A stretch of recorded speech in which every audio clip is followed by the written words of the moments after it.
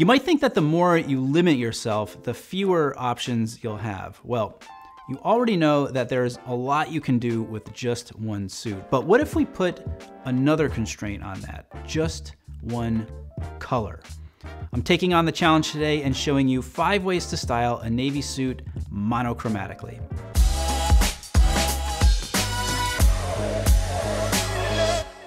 I'm Brian Sacawa, and you're watching He Spoke Style, where we are dedicated to giving you all the tips, knowledge, and inspiration you need to dress well, have more confidence, and unlock your potential. When you're dealing with just one color, it becomes all about finding ways to add some interest to the outfit. And one of the easiest ways to do that is to add some pattern. Here, we're doing that with the bold Prince of Wales check tie. Using a big pattern like this not only creates interest and contrast, but it provides a focal point for the entire outfit.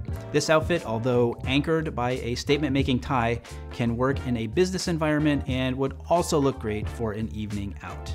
In addition to pattern, texture is another really great strategy for creating interest when you're dressing monochromatically.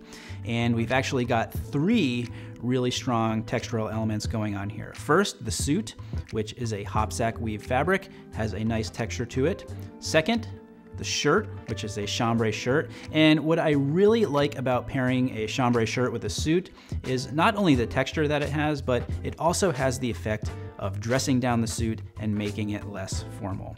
And then the third textural element we have is the tie. Navy grenadine, which leads to a complementary textural trifecta between the tie, the suit, and the shirt. Okay, so there are two caveats in this video. Number one, for the purposes of this video, I am not considering white a color, and two, shoe color also does not apply. So please, spare me the comments. And if you've written one already, you might wanna think about deleting it. That's a joke. This outfit, however, is not a joke. It is just a very simple business casual look, suit, no tie, classic penny loafers, watch with a blue strap, and button-up shirt with a blue stripe.